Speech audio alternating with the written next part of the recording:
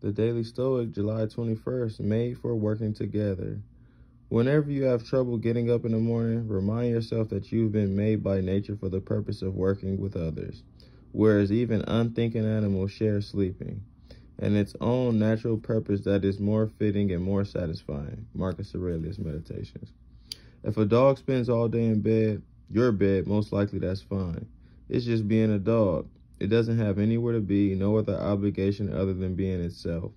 According to the Stoics, we humans have a higher obligation, not to the gods, but to each other. What gets us out of bed each morning, even when we fight it like Marcus did, is praxeus koinonicus apodinoinai.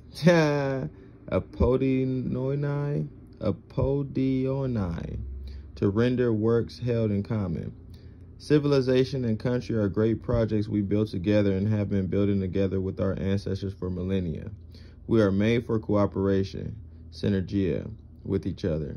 So if you need an extra boost to get out of bed this morning, if you need something more than caffeine can offer, use this. People are dependent on you. Your purpose is to help us render this great work together, and we're waiting and excited for you to show up.